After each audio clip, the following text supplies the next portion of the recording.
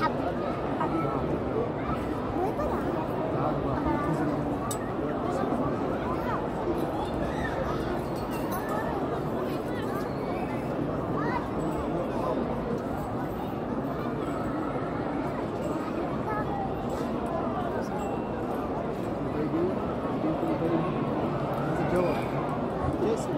يا آلي وبحق علي